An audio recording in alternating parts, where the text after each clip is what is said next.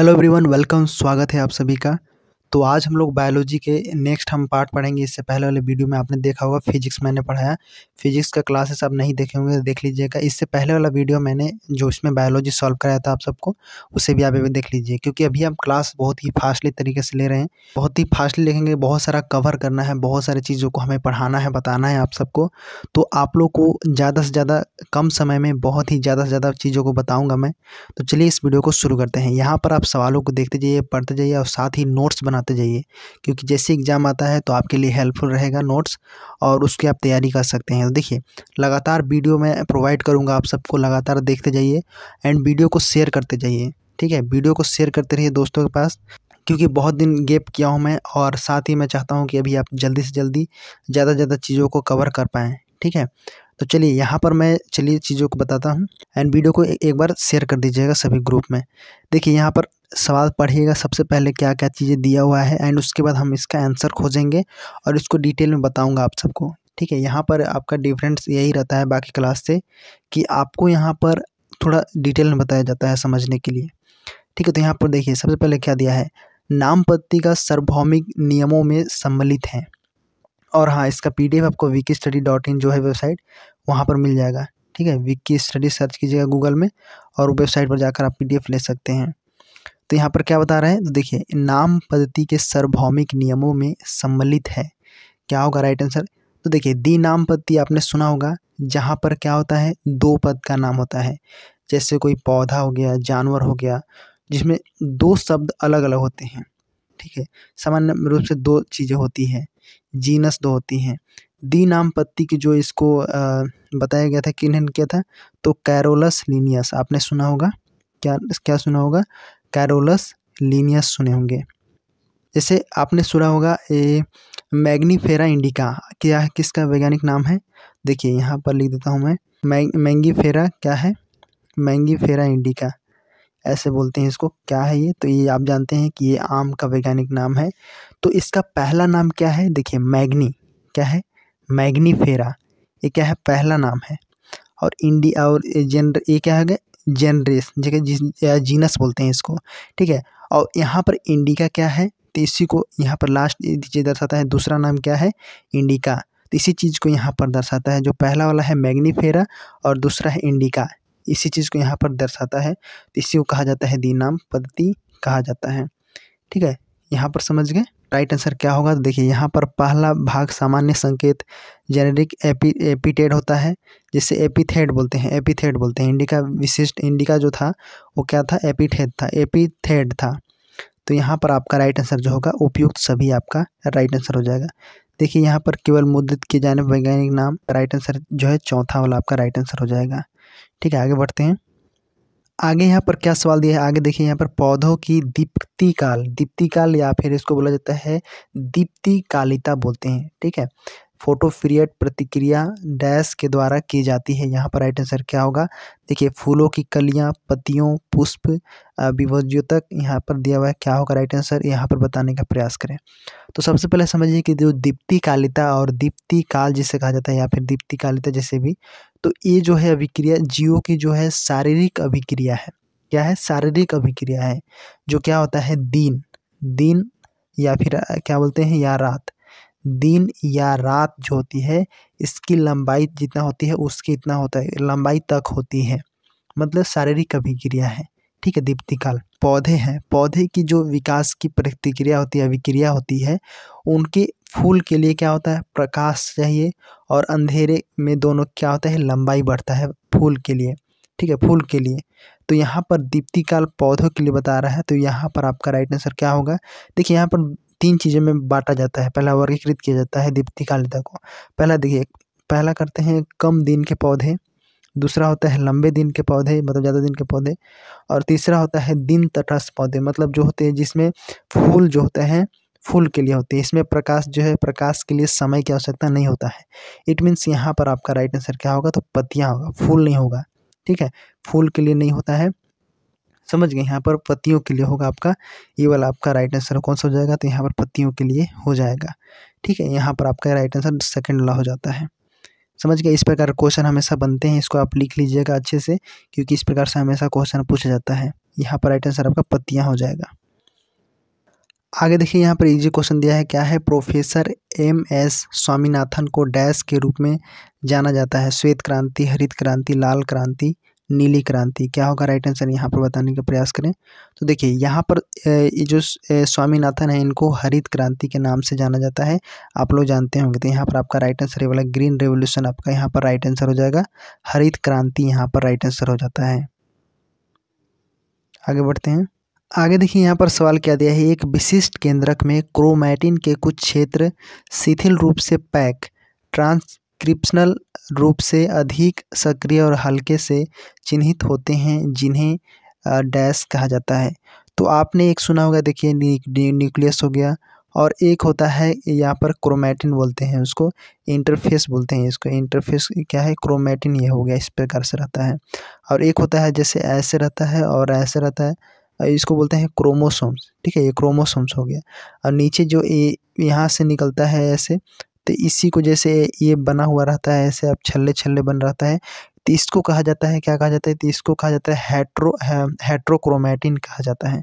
ठीक है? हेट्रोक्रोमेटिन और जो ऐसे गोल गोल बना रहता है, गोल गोल छल्ला टाइप से बना रहता है तो इसको कहा जाता है इक्रोमेटिन जो एक्टिव होते हैं, उसको कहा जाता है। तो यहीं से एक डीएनए निकलता है। ठीक है? ये इमेज इमेज में देख लेंगे आप तो यहाँ पर समझ में आ जाएगा डीएनए निकलता है। तो देखिए, यहाँ पर आपका क्या पूछ रहा है? तो यहाँ पर ट्रांसक्रिप्शनल रूप से अधिक सक्रिय और हल्के सक्रिय मतलब एक्टिव होते हैं। तो यहीं पर आपका जो है, जैसे क्रोमेटिन के अंदर क्या आता है? क्रोमेटिन के अंदर डीएनए आ गया आरएनए आ गया और प्रो प्रोटीन आ गया, ठीक है? ये चीज़ें होती है। तो जो यूक्रोमेटिन है और यहाँ पर हेट्रोक्रोमेटिन है, ये दोनों अलग अलग है, ठीक है? एक दूसरे से क्या होते हैं? विपरीत होते हैं, ठीक है? जो हेट्रोक्रोमेटिन है, वो क्या होता है? साइलेंट होता है। जो चपटे चपटे होते हैं साइलेंट होते हैं। और जो क्रोमेटिन होता है, वो क्या होता है? ये मतलब यूको यूक्रोमेटिन क्या होता है? तो वो होता है, देखिए, ये हेट्रोक्रोमेटिन है, ये क्या है? साइलेंट होता है। और ये जो होता है एक्टिव होता है। तो यहाँ पर आपका सक्रिय रहा है तो मतलब ये वाला आपका राइट आंसर हो जाता है। ठीक है राइट आंसर हो जाता है। इस प्रकार से आपको पढ़िएगा। इक्रोमेटिन जो होता है, कोशिका नाभिक के भीतर जो है जीनोम का एक क्या होता है? सक्रिय भाग होता है। यहाँ पर इसको बोला जाता है, ये वाला को। ठीक है? यहाँ पर आपका यूकेरेटिस में पाया जाता है, ये वाला आपका राइट आंसर पहला वाला हो जाता है। आगे बढ़ते हैं। आगे देखिए, यहाँ पर सवाल क्या दिया है? देखिए, जल। यहाँ पर बयासी अंश सेंटीग्रेड से निन्यानवे अंश सेंटीग्रेड के क्वथनांक को, के ठीक नीचे तापमान पर भोजन को पकाना निम्न रूप से जाना जाता है। मतलब ये जो तापमान है, जो उबलता है, कितने हंड्रेड अंश सेंटीग्रेड पानी उबलता है? ठीक है तो इससे कम बयासी यहाँ पर दिया है eighty two and ninety nine के क्वथनांक के ठीक नीचे तापमान पर भोजन को पकाना निम्न रूप से क्या कहलाता है? तो उबलना तो कहलाएगा ही नहीं, प्रेशर कुकर होगा ही नहीं, भाप बन सकता है और यहाँ पर आपका सिमरिंग तो ये सिमरिंग दिया हुआ है। तो देखिए, जहाँ पर ऐसी बातें आती हैं मतलब सौ डिग्री या फिर दो डिग्री सेल्सियस से कम फ़ारेनहाइट, जो फ़ारेनहाइट है उससे कम पर अगर हम भोजन पकाते हैं, भोजन की तैयारी करते हैं, भोजन बनाते हैं तो उस प्रक्रिया को कहा जाता है, सिमरिंग कहा जाता है। ठीक है स्टीमिंग नहीं सिमरिंग कहा जाता है। खाना पका रहे हैं हम, भाप यहाँ पर नहीं है, ये नहीं है, हमारा सिमरिंग हो जाएगा। ठीक है, ये होता है। जैसे किसी भी जैसे लिक्विड फॉर्म होता है, उसको उबाला जाता है, यहाँ पर कम क्वथनांक से कम पर तो उसको कहा जाता है। जैसे जैसे गैस की छोटी लौ होता है, सबसे कम तापमान कर देते हैं, ऊपर में। लौ, थोड़ा कम जलने लगता है या फिर इंडक्शन है जैसे इलेक्ट्रिक स्टोव है तो उसका तापमान को क्या करेंगे? कम कर देंगे। कम तापमान पर खाना हम बनाएँगे तो उसी को कहा जाता है, यहाँ पर सिमरिंग कहा जाता है। ठीक है? कम तापमान कर देना। सबसे कम तापमान भोजन पकाने की तैयारी को यहाँ पर बोलते हैं, सिमरिंग कहा जाता है। ठीक है? कम तापमान पर खाना बनाने को। तो ये वाला आपका राइट आंसर हो जाता है। आगे बढ़ते हैं। देखिए, आगे सवाल यहाँ पर इसको थोड़ा सा दिमाग लगाना है। इसमें दो जानवरों को हम एक ही जाति का कब मान सकते हैं? देखिए, यहाँ पर दिया है, यदि वे एक जैसे दिखते हैं एवं समान संख्या में संतति का निर्माण करते हैं तो एक जैसे दिखते हैं ये ज़रूरी नहीं है। ठीक है, एक जैसे दिखते हैं ज़रूरी नहीं है तो हमारा ये वाला विकल्प गलत हो जाएगा।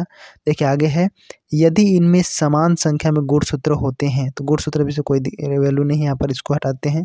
एंड यहाँ पर दिया है, यदि इसमें नाइन्टी फाइव प्रतिशत से अधिक समान जीन है तो जीन का इसमें कोई लेना देना नहीं है, यहाँ पर यहाँ पर आपका राइट आंसर ये वाला बच जाता है तो ये वाला आपका राइट आंसर देखिए कैसे। ये वे स्वाभाविक परिस्थितियों में स्वतंत्र रूप से संकरण कर सकते हैं। और क्या है, प्रजनन संतति को जन्म दे सकते हैं। इस प्रकार के यहाँ पर आपका ये वाला आपका राइट आंसर जो लास्ट वाला है, ये वाला आपका बताया जाएगा यहाँ पर। स्वाभाविक परिस्थिति में स्वतंत्र, जो परिस्थिति तंत्र है, उसमें वो स्वतंत्र हैं और रूप से संकर, जो है, संकरण कर सकते हैं और प्रजनन संतति को यहाँ पर जन्म दे सकते हैं। ये वाला आपका, यहाँ पर चौथा वाला आपका राइट आंसर हो जाता है ये वाला। ठीक है, बहुत ही जीत आगे बढ़ते हैं। चौथा वाला आपका राइट आंसर हो जाता है। आगे देखिए, यहाँ पर सवाल क्या दिया है? यहाँ पर देखिए, पौधों में बहुगुणिता, पॉलीपेप्टाइड इसके द्वारा प्रेरित नहीं किया जा सकता। यहाँ पर इसके द्वारा प्रेरित नहीं किया जा सकता। तो जब हम पॉलीपेप्टाइड की श्रृंखला की बात करते हैं तो ये कई सारे अमीनो अम्ल एसिड से क्या होता है? यहाँ पर बना हुआ है, एक तरह से कह सकते हैं इसको मैक्रो मैक्यूल कह सकते हैं इसको, एक तरह से राइबोसोम द्वारा इसको डिवाइड किया जाता है अलग अलग कोशिका एक पॉलीपेप्टाइड श्रृंखला बनाया जाता है इसी के द्वारा। ठीक है। तो पॉलीपेप्टाइड जो होता है, जैसे प्लांट के बारे में, पौधों के बारे में पढ़ेंगे तो प्लांट पॉलीपेप्टाइड जो होता है, सबसे छोटे अणु पॉलीपेप्टाइड होते हैं। जो पौधे के जो होते हैं प्लांट जैसे हाइड्रोलिसिस द्वारा पढ़े होंगे हाइड्रोलिसिस पढ़े होंगे, ये सब चीज़ें तो पॉलीपेप्टाइड तो यहाँ पर आपका जो है, ये वाला आपका सही है, ये भी सही है। तो मतलब नींबू पानी यहाँ पर आपके, ये वाला लाइम वाटर जो है, ये प्रेरित नहीं किया जाता, आपका जो है चौथा वाला आपका यहाँ पर राइट आंसर हो जाएगा। ठीक है, चौथा वाला यहाँ पर आपका क्या होगा? राइट आंसर हो जाएगा, आप इसको पढ़ लीजिएगा पॉलीपेप्टाइड पौधों के बारे में तो यहाँ पर आपका राइट आंसर चौथा वाला हो जाता है। अब बाकी हाइड्रोलिसिस के बारे में भी पढ़ लीजिएगा, वो वाला भी इंपॉर्टेंट है, उससे भी क्वेश्चन बनता है यहाँ पर। ठीक है? पॉलीपेप्टाइड के जो है, कैसे बनता है? जैसे न्यूक्लियोफिलिक जोड़ के बनता है कैसे बनता है? पॉलीपेप्टाइड श्रृंखला बनाने के लिए कौन से एसिड होते हैं? इसको आप पढ़िएगा, यहाँ पर आपका राइट आंसर आपका चौथा वाला हो जाता है, ये वाला आपका राइट आंसर हो जाता है। आगे देखिए, यहाँ पर क्या दिया है? निम्नलिखित में से किस पारिस्थितिक तंत्र में बायोमास के उल्टे पिरामिड को देखा जा सकता है?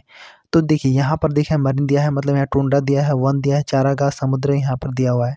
तो देखिए, जब हम बात करते हैं पारिस्थितिक तंत्र में बायोमास के उल्टा पिरामिड को तो ये जो होता है जलीय पारिस्थितिक तंत्र में पाया जाता है, ठीक है? जहाँ पर जैसे एक जलीय पारिस्थितिक तंत्र होता है, उसमें उत्पादक जो होते हैं, उनके पास क्या होता है? कम बायोमास होता है। तो फिर क्या करते हैं वे? और धीरे धीरे पिरामिड के रूप में वो बनने लगते हैं। ऊपर बनने लगते हैं। तो इस चीज़ को दर्शाते हैं यहाँ पर तो आपका यहाँ पर जो जलीय है तो जलीय में आ जाता है समुद्र तो यहाँ पर आपका ये वाला राइट आंसर हो जाता है पहला वाला, ठीक है? समुद्र हो जाता है। जैसे जैसे जैसे हम पोषक तत्वों के ऊपर आते हैं तो जय भार क्या होता है? धीरे धीरे क्या होता है? बढ़ने लगता है, ठीक है? यहीं पर।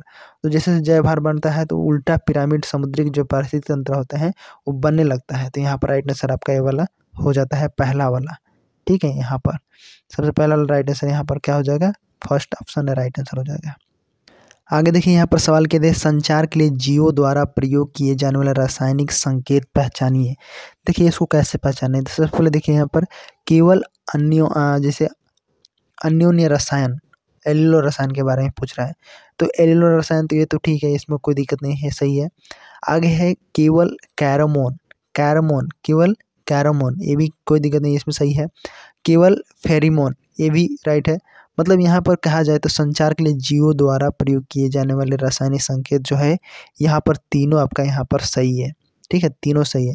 तो मतलब यहाँ पर राइट आंसर आपका उपयुक्त, सभी आपका यहाँ पर राइट आंसर हो जाता है। ठीक है, संचार के लिए यहाँ पर ज़रूरी पढ़िएगा संचार के लिए रासायनिक संकेत तो वहाँ पर ये चीज़ें, सभी चीज़ें बताया गया है, इस, ये वाला बताया गया है। तो यहाँ पर राइट आंसर आपका जो है लास्ट वाला हो जाता है।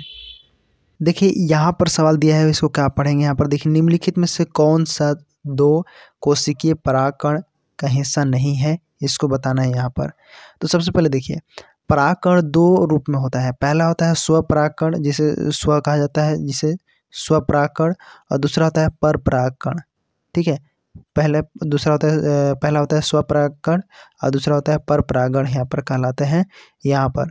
तो जब पराग कोश में पराग उसी जैसे वर्तिकाग्र होता है तो उसी वर्तिकाग्र में मिलते हैं, तब तो उसको पराग कोश, पहले समझते हैं पराग कोश किसे कहते हैं तो पराग कोश में परागकण होते हैं, जिनमें क्या होता है, नर युग्मक होता है, ठीक है, यहाँ पर, जैसे परागकणों को स्त्री केसर के एक भाग पर जाने के लिए मतलब जाने की आवश्यकता होती है तो उसी को क्या कहा जाता है, वर्तिकाग्र कहा जाता है।